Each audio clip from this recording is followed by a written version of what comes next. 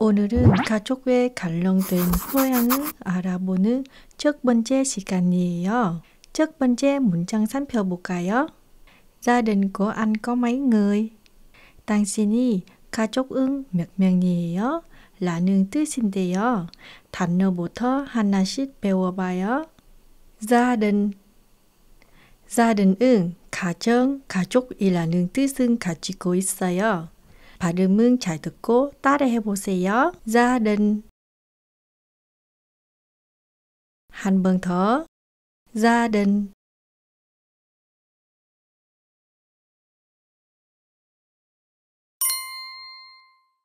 có 거는 있다, 가지고 있다라는 뜻은 가지고 있어요.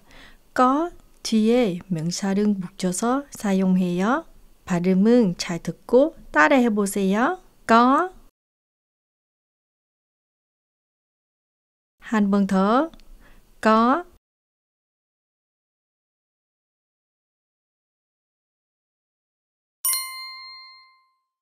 mấy mấy 몇이라는 뜻은 가지고 있어요. 10 이하의 수량은 물어볼 때 사용해요. 발음은 잘 듣고 따라해 보세요. 마이 한 번 더. 마이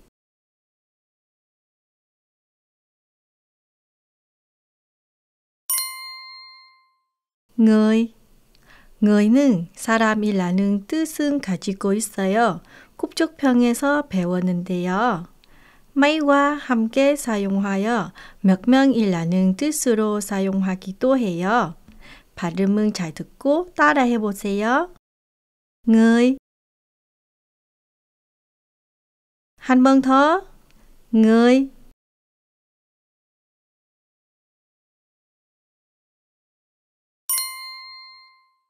좋아요. 그럼 다시 문장으로 따라 해 보세요. Gia đình của anh có mấy người? 한 번 더. Gia đình của anh có mấy người?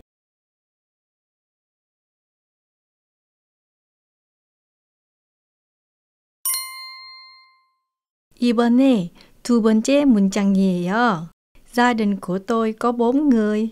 저희 가족은 4명이에요. 라는 뜻인데요. 이번에도 단어부터 배워볼게요. 몸, 몸은 사라는 뜻은 가지고 있어요. 사람은 뜻하는 người 앞에 묻혀서 쓰며 4명이라는 뜻이 돼요.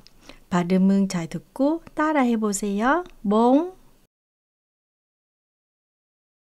한 번 더. 4.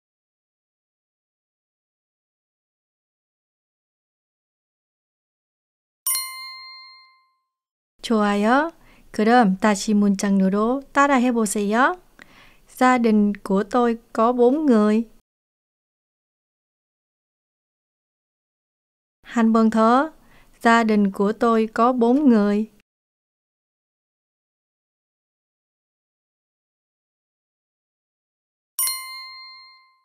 오늘은 이렇게 두 문장과 단어들에 대해 알아보았는데요. 한 번씩 따라 해보면서 오늘 수업 마칠게요.